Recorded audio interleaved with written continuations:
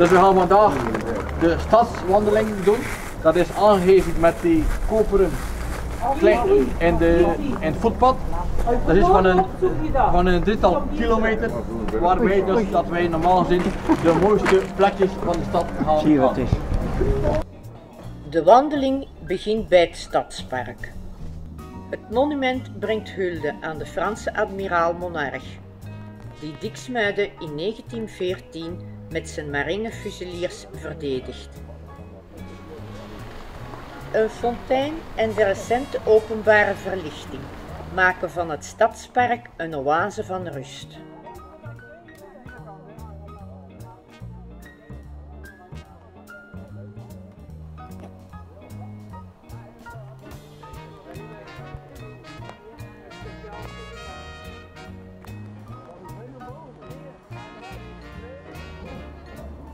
Diksmuide ontwikkelt zich aanvankelijk vooral nabij de stadsvaart of houtzamenvaart. Deze vaart voorziet de stad en de grachten van water.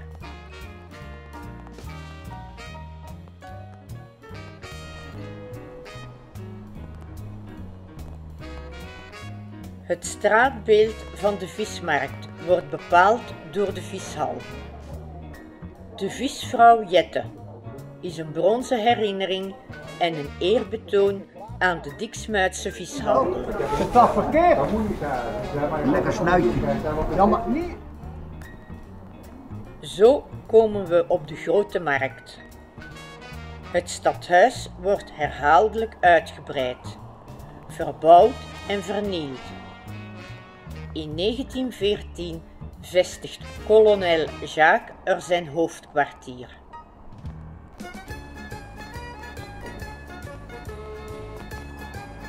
Tijd om te eten. Een vlees- of vismenu was de keuze.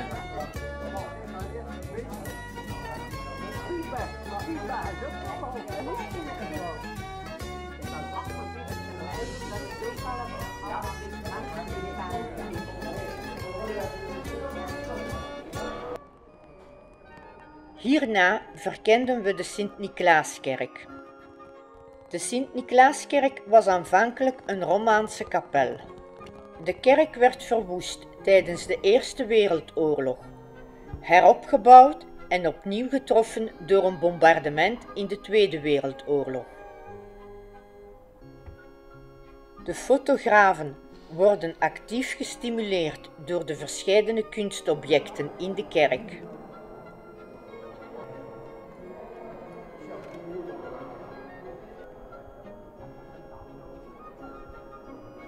Een bronzen pieta, noodgods en gegoten door de gebroeders Min uit Gent, siert de kerk.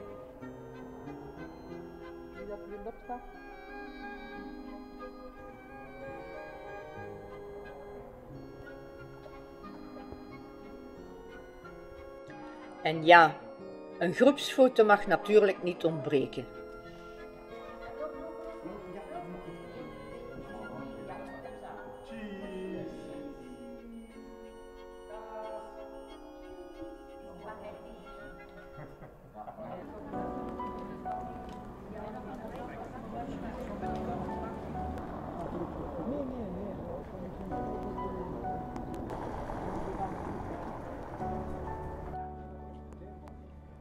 Het pittoreske Begijnhof van Diksmuide bestaat sinds de 13e eeuw. De nabijheid van de stadsvaart en de broeken laat ze toe om de kost te verdienen met wassen, bleken en bewerken van wol, lakens en linnen, het kweken van dieren en zelfs het brouwen van bier. Na Wereldoorlog I wordt het Begijnhof heropgebouwd. De Begijnen keren echter niet terug en het Begijnhof krijgt een sociale functie.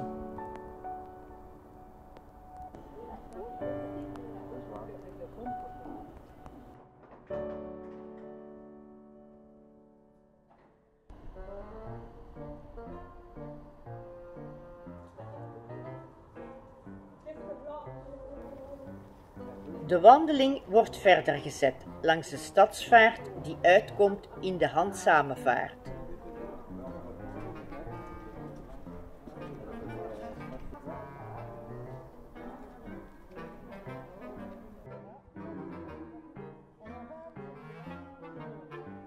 De handzame vaart komt tenslotte uit in de IJzer.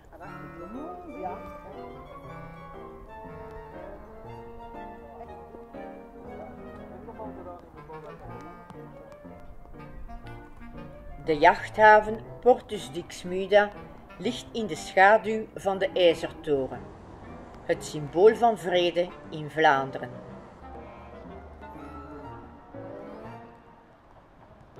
De imposante toren heeft een woelig verleden en dat toont de toegangspoort al meteen. Ze is opgebouwd uit de brokstukken van de eerste toren die in 1946 met hulp van dynamiet met de grond gelijk werd gemaakt.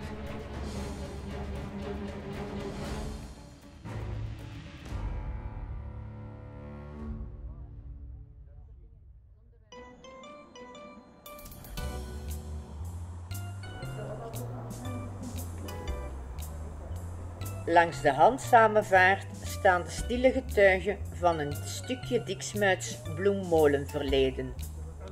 De gerestaureerde bloemmolens, waarvan de oude machines tot 1996 dienst doen, blijven een attractie. Daarom doe ik altijd gek. Hey! Nou moet ik al een kopje. Zo, Oh, trots is ook niet alles, hè. Het weer overleefd.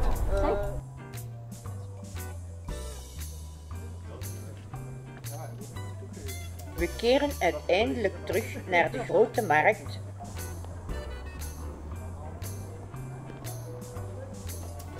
Het manneke uit de manen staat symbool voor de Vlaamse humor.